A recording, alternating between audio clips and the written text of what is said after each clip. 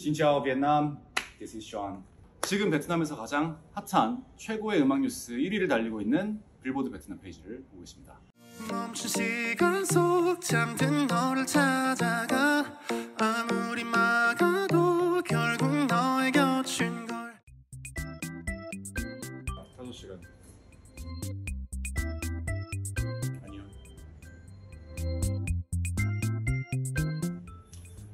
여행 관련 컨텐츠에 Way Back Home 노래를 많이 써주셔가지고 다양한 여행지의 풍경들을 많이 볼 수 있었어요.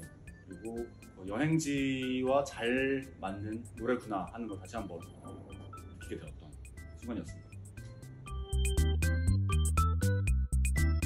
저한테 최고의 도움이자 최악의 벽이 되는 노래라고 생각해요. Way Back Home이라는 노래는.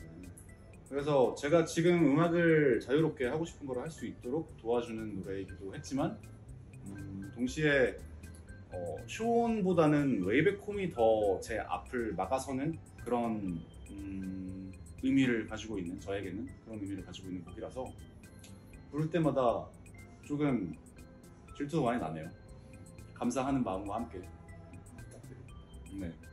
멈춘 시간 속 잠든 너를 찾아가 아무리 막아도 결국 너의 곁인 걸 길고 긴 여행을 끝내. 이젠 돌아가. 너라는 집으로 지금 다시 way back home. 중국 남아의 죽숙해 또 이유 베트남.